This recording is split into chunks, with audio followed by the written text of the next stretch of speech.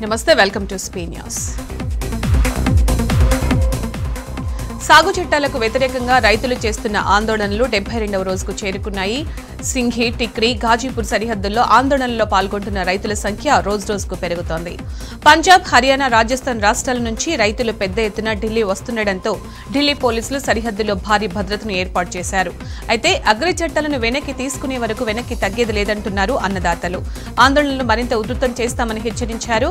రేపు రాష్ట్ర జాతీయ రహదారులను దిగ్బంధించడానికి సిద్ధమయ్యారు. చుక్కా జామ్ పేరుతో మధ్యాహ్నం పన్నెండు గంటల నుంచి మూడు గంటల వరకు రహదారులు దిగ్బంధించాలని నిర్ణయించారు. రైతుల ఆందోళనలకు తమ మద్దతు కొనసాగుతుందని మరోసారి ట్వీట్ చేశారు సామాజిక కార్యకర్త గ్రేటా థన్బర్గ్ రైతుల శాంతియుత నిరసనలకు తన మద్దతు ఉంటుందన్నారు. రైతు ఆందోళనలపై ఆమె నిన్న ట్వీట్ చేయగా ఢిల్లీ పోలీసులు ఎఫ్ఐఆర్ నమోదు చేశారు. కానీ ఎఫ్ఐఆర్ నమోదైన తర్వాత కూడా తన్బర్గ్ మరోసారి ట్వీట్ చేశారు. ఇప్పటికీ రైతులకు తన మద్దతు కొనసాగుతోందని విద్వేషం బెదిరింపులతో తన నిర్ణయం మారదని గ్రేటా ట్వీట్ చేశారు. అయితే గ్రేటా ట్వీట్పై భారత్కు చెందిన పలువురు సెలబ్రిటీలు అభ్యంతరం వ్యక్తం చేశారు. ఇది మా అంతర్గత వ్యవహారమని మీరు ప్రేక్షకుల్లా మాత్రమే వ్యవహరించాలని హితవు పలికారు. బాలీవుడ్ నటి కంగనా రనౌత్కు ట్విట్టర్ షాక్ ఇచ్చింది. రైతులపై ఆమె చేసిన ట్వీట్లను తొలగిస్తూ ట్విట్టర్ నిర్ణయం తీసుకుంది. తమ నిబంధనలకు విరుద్ధంగా ఉన్నాయన్న కారణంతో కంగనా చేసిన ట్వీట్లను తొలగిస్తున్నట్లు ట్విట్టర్ ప్రకటించింది. ఢిల్లీ సరిహద్దుల్లో ఆందోళనలు చేస్తున్న రైతులకు మద్దతుగా రిహానా చేసిన ట్వీట్కు బదులిస్తూ కంగనా ఓ ట్వీట్ చేశారు. ఆందోళనలు చేస్తున్న వారు రైతులు కాదని దేశాన్ని విభజించాలని చూస్తున్న ఉగ్రవాదులంటూ ట్వీట్ చేశారు. మీలాగా మేము దేశాన్ని అమ్ముకోవడం లేదని తీవ్ర స్థాయిలో విరుచుకుపడ్డారు. పశ్చిమ బెంగాల్లో భారీ అగ్ని ప్రమాదం సంభవించింది. టీటాగఢ్లోని జూట్ మిల్లు గోదాముల్లో ఒక్కసారిగా మంటలు చెలరేగాయి. ఒకదాని నుంచి మరొక దానికి వ్యాపించడంతో అగ్నికీలలు ఎగసిపడుతున్నాయి రంగంలోకి దిగిన అగ్నిమాపక సిబ్బంది మంటలను అదుపులోకి తెచ్చేందుకు ప్రయత్నిస్తున్నారు. ఈ ఘటనలో ప్రాణ నష్టం తప్పినా భారీగా ఆస్తి నష్టం జరిగిందంటున్నారు అధికారులు. సిక్కింలో భూకంపం సంభవించింది. ఇండో నేపాల్ సరిహద్దుల్లో తెల్లవారుజామున రిక్టర్ స్కేలుపై నాలుగు పాయింట్ సున్నా తీవ్రతతో ప్రకంపనలొచ్చాయి. యుకోమ్స్కు యాభై నాలుగు కిలోమీటర్ల దూరంలో పది కిలోమీటర్ల లోతులో భూకంప కేంద్రాన్ని గుర్తించినట్టు తెలిపింది నేషనల్ సెంటర్ ఫర్ సిస్మాలజీ. అయితే ఈ ఘటనలో ఎలాంటి ఆస్తి ప్రాణనష్టం జరగలేదని వెల్లడించింది.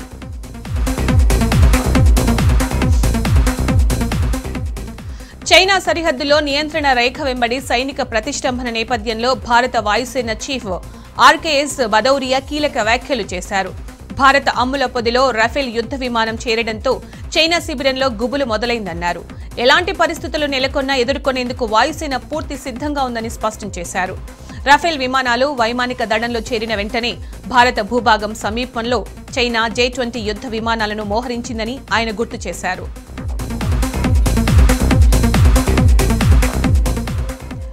ప్రజలను ఇబ్బంది పెడుతున్న లోన్ యాప్స్ పై గూగుల్ చర్యలకు దిగింది. దాదాపు వంద యాప్లపై నిషేధం విధించింది. డేటాను దుర్వినియోగం చేయడమే కాకుండా ఎక్కువ మొత్తం వడ్డీలు వసూలు చేస్తున్నారన్న విషయాన్ని గూగుల్ గుర్తించి ఈ చర్యలు తీసుకుంది.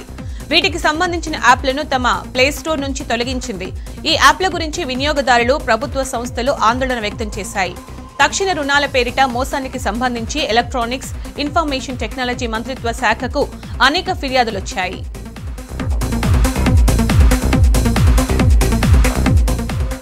భారత్లో కరోనా తీవ్రత క్రమంగా తగ్గుతోంది. గడిచిన ఇరవై నాలుగు గంటల్లో పన్నెండు వేల ఎనిమిది వందల తొంభై తొమ్మిది కొత్త కేసులు వెలుగులోకి రాగా మొత్తం కేసుల సంఖ్య కోటి ఏడు లక్షల తొంభై వేల నూట ఎనభై మూడుకు చేరిందని కేంద్ర ఆరోగ్య శాఖ ప్రకటించింది. నిన్న ఒక్కరోజే నూట ఏడు మంది కరోనా కాటుకు బలికాగా మొత్తం మరణాల సంఖ్య లక్ష యాభై నాలుగు వేల ఏడు వందల మూడుకి చేరిందని వెల్లడించింది. ఇక ఇప్పటి వరకు కోటి నాలుగు లక్షల ఎనభై వేల నాలుగు వందల యాభై ఐదు మందికి పైగా కరోనా నుంచి కోలుకోగా లక్ష యాభై ఐదు వేల ఇరవై ఐదు మంది పలు హాస్పిటల్స్లో చికిత్స పొందుతున్నారు. భారత్లో కరోనా వ్యాక్సినేషన్ ముమ్మరంగా కొనసాగుతుందని కేంద్ర వైద్య ఆరోగ్య శాఖ తెలిపింది. కేవలం పంతొమ్మిది రోజుల్లో దాదాపు నలభై ఐదు లక్షల మందికి కోవిడ్ నైన్టీన్ టీకాలు వేశామని కేంద్ర ఆరోగ్య మంత్రిత్వ శాఖ సెక్రటరీ రాజేష్ భూషణ్ వెల్లడించారు. దేశంలో వ్యాక్సిన్ తీసుకుంటున్న వారి సంఖ్య గణనీయంగా పెరుగుతుందన్నారు. దేశవ్యాప్తంగా కరోనా వైరస్ యాక్టివ్ కేసుల సంఖ్య ఒకటి పాయింట్ ఐదు లక్షలకు పడిపోయిందని మొత్తం కేసుల్లో ఇది కేవలం ఒకటి పాయింట్ నాలుగు నాలుగు శాతమేనని తెలిపింది. నలభై ఏడు జిల్లాలో మూడు వారాలుగా ఒక్క పాజిటివ్ కేసు కూడా నమోదు కాలేదని తెలిపారు. తమిళనాడు కోయంబత్తూరుకు చెందిన ఓ మహిళ పేదల కడుపు నింపుతోంది. కోయంబత్తూరులో చిన్న స్టాల్ ఏర్పాటు చేసి యాభై రూపాయలకి కడుపు నిండా బిర్యానీ అందిస్తోంది. అటు డబ్బులు చెల్లించే స్తోమత లేని నిరుపేదలకు ఉచితంగా బిర్యానీ ఇస్తోంది. తక్కువ ధరకే బిర్యానీ అందించడమే లక్ష్యంగా స్టాల్ ఏర్పాటు చేసినట్లు ఆమె చెప్పింది. బిర్యానీ తినాలనే కోరిక చాలా మందికి ఉంటుందని కానీ డబ్బు ఉండదు కాబట్టి అలాంటి వారి కోసం తక్కువ ధరకు అమ్ముతున్నానని తెలిపింది.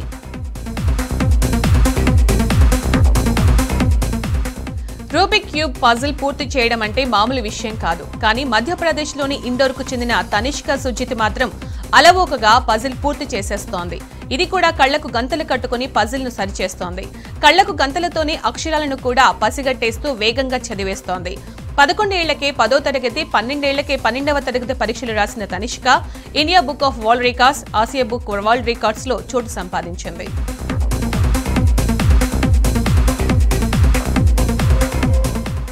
పెట్రోల్ డీజిల్ ధరలు వరుసగా రెండో రోజు పెరిగాయి. ఇప్పటిక రికార్డు స్థాయికి ధరలు చేరగా మరోసారి చమురు కంపెనీలు మళ్ళీ పెంచాయి. వరుసగా పెరుగుతున్న ఇంధన ధరలతో సామాన్యులు తీవ్ర ఇబ్బందులకు గురవుతున్నారు. గురువారం ముప్పై పైసల వరకు పెంచిన కంపెనీలు ఇవాళ మరోసారి దేశంలోని ప్రధాన మెట్రో నగరాల్లో డీజిల్ ధరను ఇరవై తొమ్మిది నుంచి ముప్పై రెండు పైసల వరకు పెంచాయి. తాజాగా పెంచిన ధరలతో ఢిల్లీలో పెట్రోల్ లీటర్ ధర ఎనభై ఆరు రూపాయల తొంభై ఐదు పైసలు డీజిల్ లీటర్ డెబ్బై ఏడు రూపాయల పదమూడు పైసలకు చేరింది. దేశంలోని ప్రధాన నగరాలైన కోల్కతాలో పెట్రోల్ ఎనభై ఎనిమిది రూపాయల ముప్పై పైసలు ముంబైలో తొంభై మూడు రూపాయల నలభై తొమ్మిది పైసలు చెన్నైలో ఎనభై తొమ్మిది రూపాయల ముప్పై తొమ్మిది పైసలు హైదరాబాద్లో తొంభై రూపాయల నలభై రెండు పైసలకు చేరింది. జమ్మూను మంచు తుఫాన్ ముంచేస్తోంది. జమ్మూ కాశ్మీర్ ఉత్తరాఖండ్ రాష్ట్రాలు మంచు దుప్పట్లు మునిగిపోయాయి. మనాలి కుఫ్రీ దాల్ హౌసీ లాహౌస్ స్పిటి జిల్లాలోని కీలాంగ్ను మంచు కమ్మేసింది. జమ్మూ కాశ్మీర్లోని పీర్ పంజల్ పర్వత శ్రేణుల్లో దట్టంగా మంచు కురుస్తోంది. అక్కడ ప్రజలు ఎవరు బయటకు వచ్చే పరిస్థితి కనిపించడం లేదు. ఇళ్ళ కప్పులు రోడ్లు మొత్తం మంచు నిండిపోయాయి. ఉత్తరాఖండ్లోని ముస్సోరి బద్రీనాథ్లో కురుస్తున్న హిమపాతంతో ప్రజలు ఎంజాయ్ చేస్తున్నారు.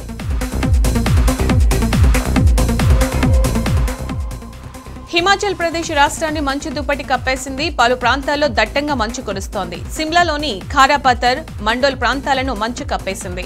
సిమ్లాలో హిమపాతం ప్రకృతి అందాలు పర్యాటకులను ఆకట్టుకుంటున్నాయి. పలు ప్రాంతాల్లో ఉష్ణోగ్రతలు అత్యల్ప స్థాయికి పడిపోయాయి.